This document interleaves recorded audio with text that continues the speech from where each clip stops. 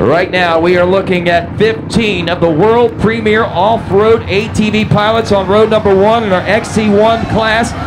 This, my friends, is certainly a nail-biting situation. Walker Fowler on the verge of possibly winning that championship today if things go his way.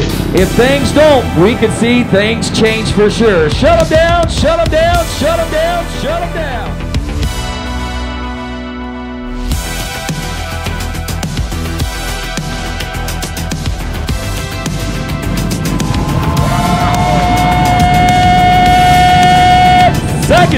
And row number one, the XC1 Pro will be off and rolling here at the Powerline Park GNCC.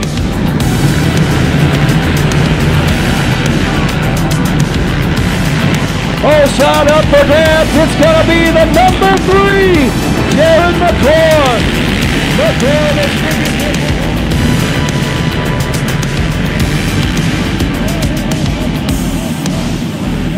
Uh, one thing I definitely did notice earlier today, racing, um, I, I, said it a little bit earlier, it's a little bit of a one-line track out there. There's not too many opportunities for passing.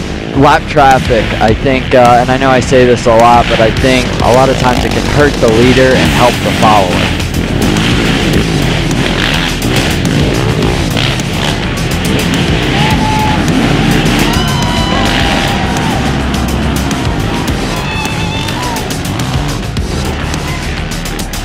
Leaders on screen right there. So this is coming down. Okay. Oh, there is. Oh, there is. Okay, okay. So, that kind of Oh, Jared just about went over the bars there, which he did that last hey. year. It must be really uh -huh. soft in the landing because everybody is laying up on their bars there at the at the landing of that jump. But yeah, so now we're waiting on this 40 second gap. But those top three, they are putting the hammer down. But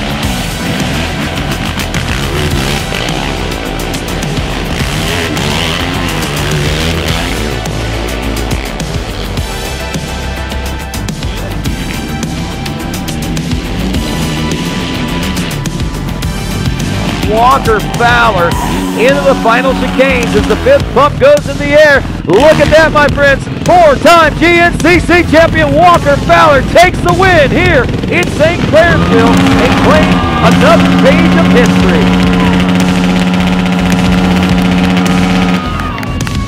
There you go, your four-time, not just four-time, but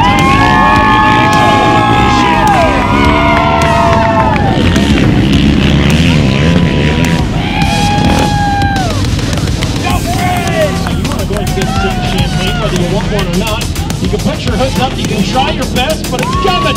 Popping bottles. The champagne showers. Look at that. You taste that? You I'm like, I know I recognize a name. I recognize you.